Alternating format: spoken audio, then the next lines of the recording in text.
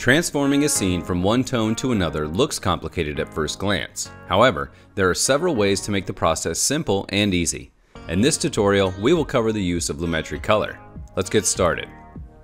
First, notice the clips here are bright, sunny, and cheerful. We plan to turn them into a dark dramatic scene.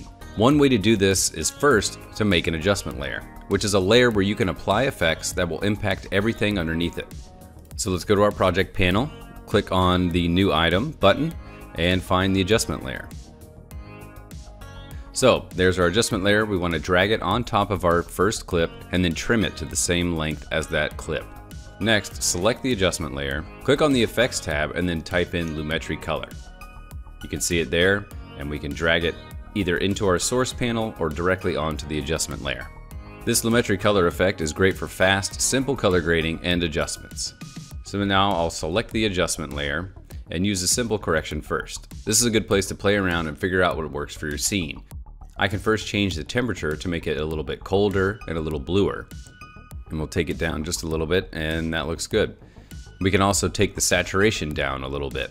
Whites, shadows, and highlights are also good ways to get the look you want. So I'll bring down my whites. I'm gonna bring down my shadows a bit. And the highlights, I can play with those as well. I can go up, down. I'm just gonna go up just a little bit here. And we can adjust the contrast. For this one, we're gonna boost it a little bit. And as you can see, as I'm clicking on the eyeball, we can see what it looks like with it on and with it off.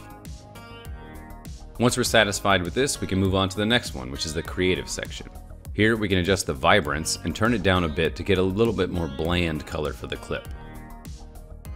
Now let's go ahead and go to the curves. This section helps us control the color and brightness of our clips with more detail. We'll make a keyframe in the middle and we can adjust it. We'll lower it down just a little bit. We can create another keyframe right here and then we can adjust that up and down as well. As you can see that starts changing the clip's brightness and contrast. Then we can click on the other color sections to further adjust the scene. For example, we can see a lot of greens here, so let's go ahead and turn those down. We can click and create a keyframe and move it up and down. You can see how just how much it can affect the clip. But let's go ahead and leave this one right here and then we'll create a new one. We can adjust that one up just a little bit and you can see what it looks like. So we'll go to the reds and we can adjust the reds as we want as well. Same with the blue.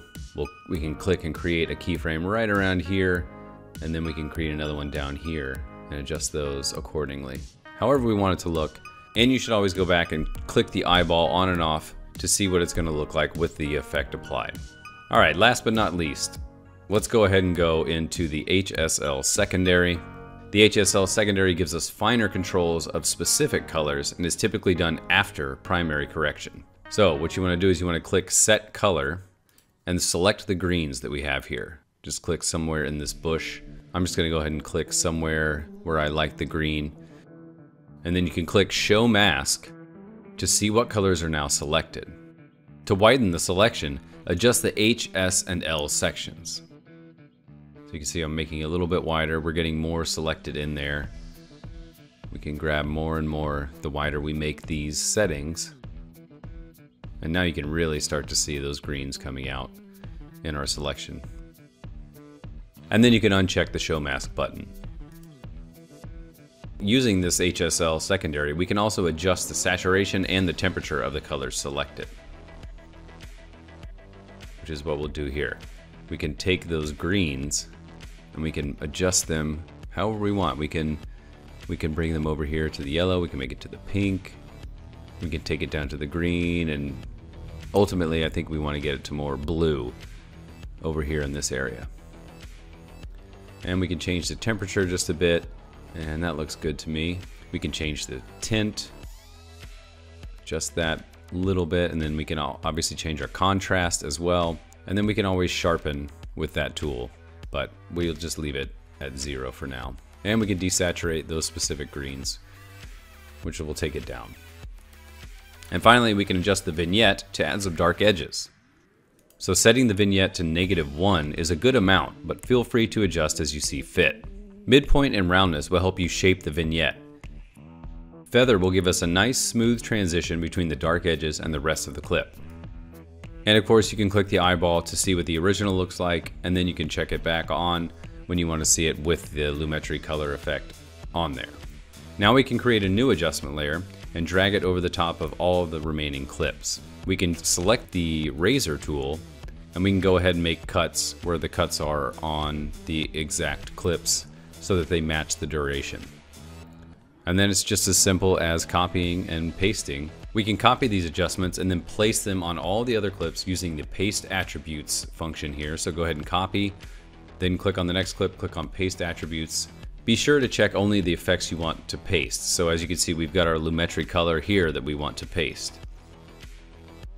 And you can see this clip now has that same effect applied. Now these other clips may require additional changes depending on how much sun exposure, how much brightness and color variation they have, but with a few tweaks, all the clips can get that dramatic look that we're going for with this short little montage. Now let's compare in the beginning to what we have currently. These changes gave us the more dramatic look that we're hoping for. There's so much more for us to discuss about the Lumetri color effect. Keep an eye out for future tutorials where we will cover audio adjustments, presets, applying matches, and more. Head over to pond5.com to license footage that you can use to test out these techniques. There are also thousands of free assets available to download at pond5.com/free.